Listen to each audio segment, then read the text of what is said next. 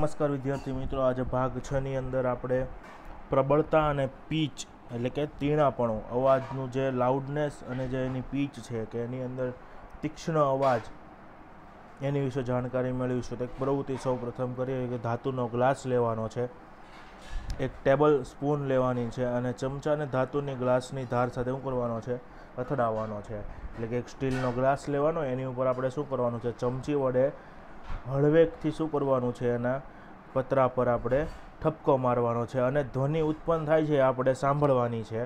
ત્યારબાદ ચમચીથી આપણે થોડોક વધારે જોરથી પ્રહાર કરવાનો છે અને જે કંપન ઉત્પન્ન થાય છે અને જે ધ્વનિ ઉત્પન્ન થાય છે એને આપણે ધ્યાનથી જોવાનું છે અને ઓબ્ઝર્વેશન કરવાનું છે કે ભાઈ આપણને શું જોવા મળ્યો? તો કે આપણે જેવો જ આપણે જોરથી અથડાઈએ છીએ, ચમચી જોરથી આપણે જેવો ધાતુના ગ્લાસ પર મારીએ એટલે શું થાય છે? તો કે ગ્લાસ પર જે પ્રહાર તીવ્ર કર્યો છે, એના લીધે એક ધ્વનિ ઉત્પન્ન થાય છે. કેવી થાય છે? એકદમ જોરથી ઉત્પન્ન થાય છે. એકદમ અવાજ કેવો થાય? વધારે થાય છે. અને એનું જે કંપન વિસ્તાર છે, જે કંપ છે, એ પણ કેવો થાય છે? ઝડપથી થાય છે. હવે તમારે શું કરવાનું છે? એક થર્મોકોલનો બોલ લેવાનો છે અને એને દોરી સાથે લટકાવવાનો. અને જે ગ્લાસ છે, એની એકદમ ધારની નજીક એને અડકાવીને રાખવાનો છે અને હળવેકથી ચમચી પર પ્રહાર કરવાનો છે અને જોવાનું છે કે જે દડો છે એ કેટલું કંપન કરે છે. અને દડાનું સ્થાનાંતર તે ગ્લાસના કંપનના કંપ વિસ્તારનું જે માપન છે એ કરે છે. હવે કંપનના કંપ વિસ્તારની સરખામણી કરવાની છે કે કયા કિસ્સામાં કંપ વિસ્તાર વધારે થયો અને મોટો થયો. તો જે આપણે જોરથી પ્રહાર કરીએ છીએ ચમચી વડે, એનામાં જે કંપ વિસ્તાર ઉત્પન્ન થાય છે, એ વધારે થાય છે અને એનો અવાજ પણ કેવો હોય, વધારે ઉત્પન્ન થાય છે. હવે ધ્વનિની પ્રબળતા, ધ્વનિ ઉત્પન્ન કરતા, ધ્વનિની પ્રબળતા, ધ્વનિ ઉત્પન્ન કરતા કંપ વિસ્તારના વર્ગના સમપ્રમાણમાં હોય છે. એટલે કે ધ્વનિની જે પ્રબળતા છે, એ ધ્વનિ ઉત્પન્ન કરતો જે કંપ વિસ્તાર છે, એનો વર્ગ કરીએ, એના સમપ્રમાણમાં હોય. હવે ઉદાહરણ તરીકે જોઈએ, તો કે કોઈ કંપ વિસ્તાર બમણો કરવામાં આવે, તો એની પ્રબળતા ચાર ગણી થઈ જાય. એટલે કે ડબલ થઈ જાય છે. જો ધ્વનિ વધારવામાં આવે કંપ વિસ્તાર, તો એની પ્રબળતા, એટલે કે એનો અવાજ જે છે, એનો લાઉડનેસ છે, કેવો થઈ જાય? ચાર ગણો થઈ જાય છે. બરાબર? હવે પ્રબળતાને કેમાં દર્શાવી શકાય છે વિદ્યાર્થી મિત્રો? ખાસ યાદ રાખજો, પ્રબળતાને આપણે ડેસિબલ એકમમાં દર્શાવી શકીએ. કેમાં સરકાવી શકીએ? ડેસિબલ એકમ ડી બી એકમમાં દર્શાવવામાં આવે છે. હવે નીચેના જે કોષ્ટક છે એની અંદર આપણે સામાન્ય રીતે જે અવાજ છે એના ડેસિબલ યુનિટ આપેલા છે, કે ભાઈ સામાન્ય જે શ્વાસ છે, આપણે જે શ્વાસ લઈએ છીએ એ દસ ડેસિબલ હોય છે.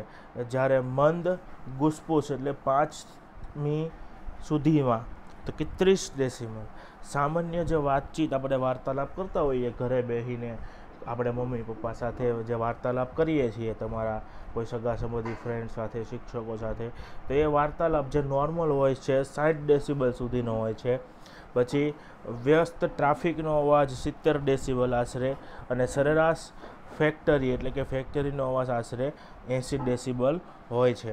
એંસી ડેસિબલથી વધારે પ્રબળ ધ્વનિ શારીરિક રીતે કષ્ટદાયક હોય છે. એટલે કે જો તમે એંસી ડેસિબલ કરતાં વધારે અવાજ સાંભળવો, તો તમને કાનમાં પીડા થાય છે અથવા તમને એવો કોઈ તમને શું થાય? ધ્વનિ ગમતો નથી. તમને અણગમો લાગે છે. હવે, ધ્વનિની પ્રબળતા તેના કંપ વિસ્તાર પર આધાર રાખે.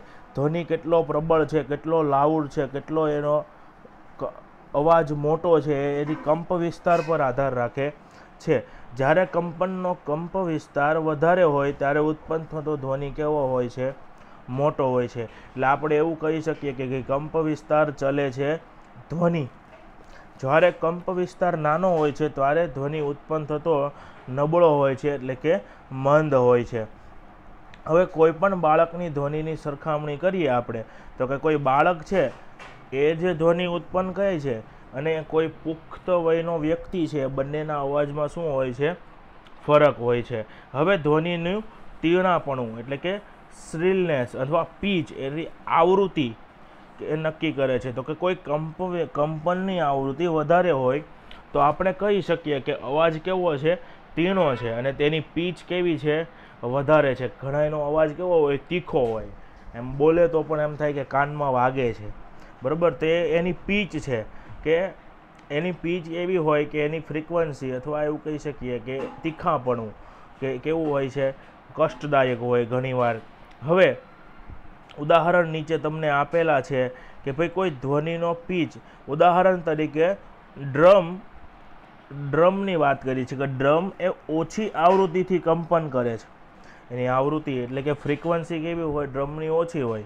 પરંતુ આપણે કોઈ સિસોટી લઈએ, તો સિસોટી છે તો એની ફ્રીક્વન્સી કેવી હોય છે? વધારે હોય છે. જેમ કે આપણે સરખામણી કરીએ તો કે ગાડી છે ટુ વ્હીલ છે.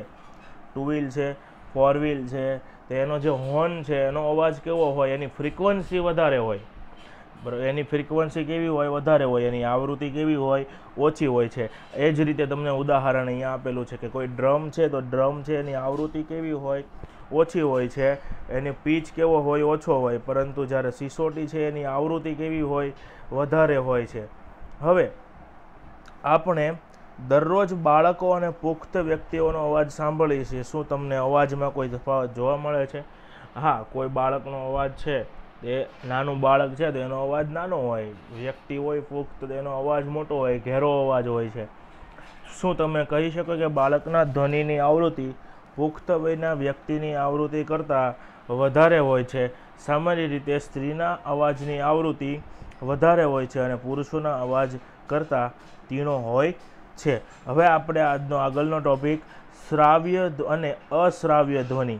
એટલે કે આપણે કયું ધ્વનિ સાંભળી શકીએ અથવા કેટલા યુનિટ સુધીનું ધ્વનિ સાંભળી શકીએ અને કેટલા યુનિટ સુધીનું ધ્વનિ સાંભળી શકતા નથી એની વાત કરીએ તો હકીકતમાં એવું કહેવાય છે કે વીસ કંપન પ્રતિ સેકન્ડ, એટલે કે વીસ વીસ હર્ટ્સ કેટલા હર્ટ્સ વીસ હર્ટ્સ કરતાં ઓછું, વીસ હર્ટ્સ કરતાં ઓછું ધ્વનિ આપણે સાંભળી શકતા નથી. એ સાંભળવા માટે આપણે સક્ષમ નથી. અને વીસ કિલો હર્ટ્સ કરતાં વધારે ધ્વનિ સાંભળવા માટે પણ આપણે સક્ષમ નથી. મનુષ્યની વાત કરવામાં આવે છે કે હકીકત એ છે કે વીસ કંપન પ્રતિ સેકન્ડ એટલે કે વીસ હર્ટ્સ કરતાં ઓછી આવૃત્તિવાળા ધ્વનિ મનુષ્યના કાન વડે પારખી શકાતા નથી.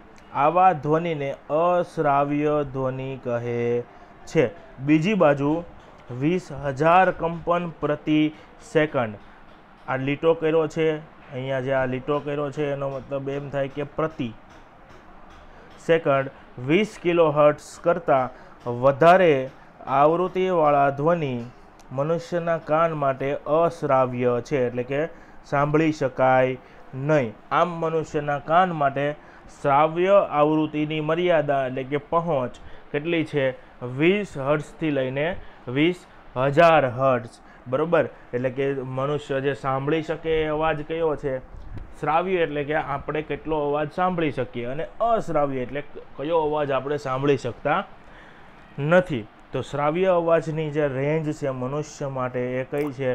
વીસ હર્ટ્સથી લઈને વીસ હજાર હર્ટ્સ સમજાય છે વિદ્યાર્થી મિત્રો? હવે આગળનો ટોપિક છે ઘોંઘાટ અને સંગીત.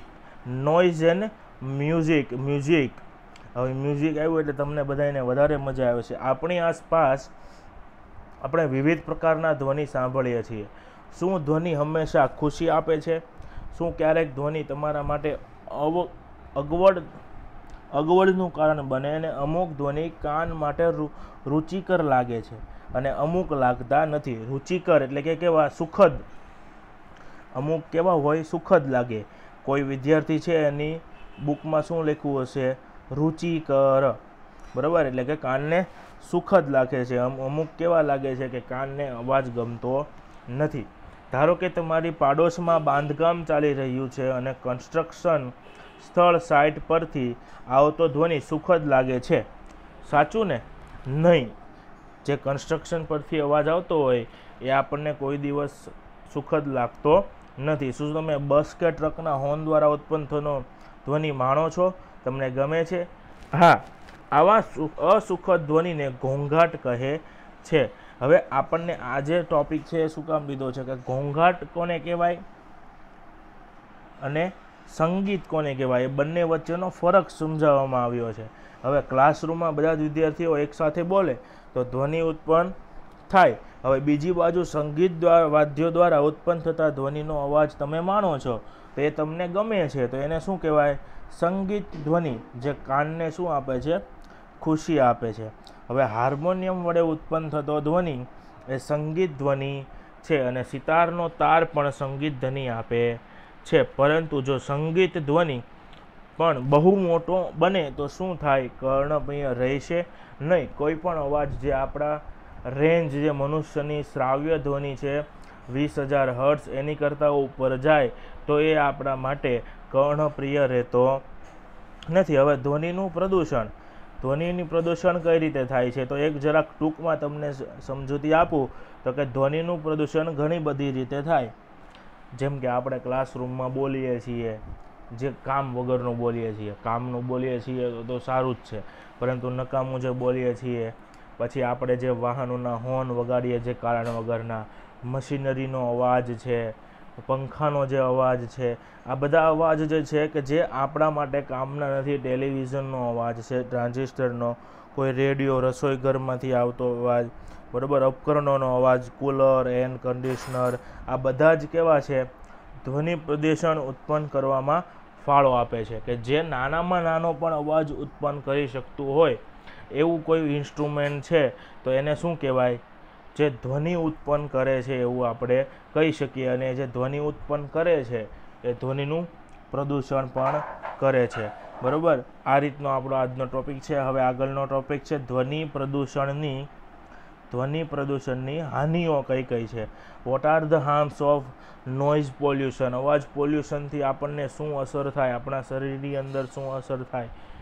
તો આપણા શરીરની અંદર ઘોંઘાટની હાજરી હોય અને સ્વાસ્થ્ય રીતે સંબંધિત સમસ્યાઓનું કારણ બને છે. જેમાં અનિંદ્રા એટલે કે ઊંઘ ન આવવી હાઇપર ટેન્શન એટલે કે હાઈ બ્લડ પ્રેશર, ચિંતા અથવા અન્ય ઘણી સ્વાસ્થ્ય સંબંધિત ખામીઓ ધ્વનિ પ્રદૂષણથી ઉત્પન્ન થઈ શકે છે. અને સતત પ્રબળ ધ્વનિના પ્રભાવ હેઠળ રહેવાવાળા વ્યક્તિની સાંભળવાની ક્ષમતા કામ ચલાવ કે કાયમી રીતે ઓછી થઈ જાય છે. એટલે કે તમે કોઈક અવાજ કન્ટિન્યુ જેમ કે આપણે લૂમ્સના મશીન હાલમાં વાત કરીએ, તો ત્યાં બહુ જ અકર્ણપ્રિય, એટલે કે કર્ણને પ્રિય નથી એવો અવાજ આવતો હોય છે. એ અમુક સમય આપણે કન્ટિન્યુ રેગ્યુલરલી દરરોજ ને દરરોજ દરરોજ ને દરરોજ સાંભળીએ એટલે શું થાય? પછી આપણા જે કાનની જે સાંભળવાની ક્ષમતા જે વીસ હર્ષથી લઈને વીસ હજાર છે એ પણ રેન્જ શું થઈ જાય શ્રાવ્ય ધ્વનિની? ઓછી થઈ જાય છે. હવે છે ધ્વનુ પ્રદૂષણને નિયંત્રણમાં રાખવાના ઉપાયો. કે ધ્વનુ પ્રદૂષણને આપણે કઈ રીતે, તો ધ્વનિ પ્રદૂષણને આપણે કઈ રીતે નિયંત્રણમાં રાખી શકીએ? તો કે કોઈ જગ્યાએ કોઈ અવાજ થાય છે જો એ જરૂરી નથી, તો આપણે બંધ કરી શકીએ. બરાબર? હવાઈ જહાજ છે, પછી એવી જગ્યાએ આપણે ટ્રાફિકમાં ઊભા છીએ અને ટ્રાફિક છે કોઈ સિગ્નલ પર ઊભા છીએ તો આપણે ગાડી આપણી બંધ કરી દેવી જોઈએ કે જેની કારણે ધ્વનિ પ્રદૂષણ પણ ન થાય અને સાથે સાથે હવાનું પ્રદૂષણ પણ અટકે છે. બરાબર? એવા કોઈ સાયલેન્સર લગાડવા જોઈએ ઉપકરણોની અંદર કે જે અવાજ કેવો કરી દે, ઓછો કરી દે. બરાબર? આવા ઘણા બધા ઉપાયો કરીને આપણે શું કરી શકીએ? ધ્વનિ પ્રદૂષણ ઘટાડી શકીએ છીએ. હવે ઘોંઘાટ ઉત્પન્ન કરવાવાળી કામગીરીનું રહેણાંક વિસ્તારથી દૂર સંચાલન કરવું. એટલે કે જે મશીનરી જેમ બહુ જ અવાજ ઉત્પન્ન કરે છે, તો એને શું કરી શકીએ આપણે? કે જે રહેઠાણ વિસ્તાર છે, રેસિડેન્શિયલ એરિયા છે, એનાથી દૂર કોઈ ઇન્ડસ્ટ્રીયલ એરિયામાં આપણે એનો સ્થાપિત કરી શકીએ છીએ. હવે ઓટોમોબાઈલ વાહનોના હોર્નનો ઉપયોગ બને તેટલો ઓછો કરીએ. ટેલિવિઝન અને મ્યુઝિક સિસ્ટમ ધીમા અવાજ ચલાવીએ.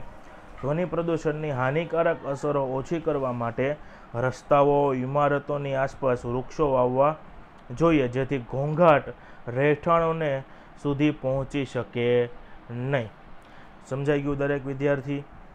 હવે એક નાનો અમથો જરાક ટોપિક આપેલો છે, શ્રવણ ક્ષતિ હિયરિંગ ઇમ્પેરમેન્ટ તો સંપૂર્ણ શ્રવણ ક્ષતિ એ ભાગ્ય જ હોય છે અને સામાન્ય રીતે જે જન્મથી જ હોય છે. શ્રવણ ક્ષતિ એટલે શું હોય? તો કે સાંભળવાનું ગુમાવી દેવું કે કોઈ પણ વ્યક્તિ સાંભળવાનું શું કરી દે? બંધ કરી દે. એવું તો કોઈ ભાગ્યે જ થાય છે. અથવા એ શું થાય? જન્મથી જ તમારી અંદર હોય છે કે કોઈ વ્યક્તિ સાંભળી નથી શકતા, કોઈ વ્યક્તિ શું કરી શકતા, બોલી નથી શકતા, તો એ કઈ રીતે કામ કરે છે? તો કે એ સંકેતો દ્વારા, એટલે કે સાઇન લેંગ્વેજ દ્વારા વાત કરે છે. જે આપણે તમે ધોરણ આઠમાં છો, એટલે તમે ભણી લીધું, બ્રેઇન લિપિ. અંધ વ્યક્તિ માટે બ્રેઇન લિપિ વિકસાવવામાં આવી છે. એમ કોઈ સાંભળી નથી શકતું. તો એની માટે શું કરેલું છે? એક સાઇન લેંગ્વેજ ઉત્પન્ન કરેલી છે. કોઈ ઈશારા દ્વારા વાત કરવામાં આવે, જેથી કરીને સમજી જાય છે. સમજાઈ ગયું દરેક વિદ્યાર્થી, આજે આપણો પાઠ પૂરો થાય છે.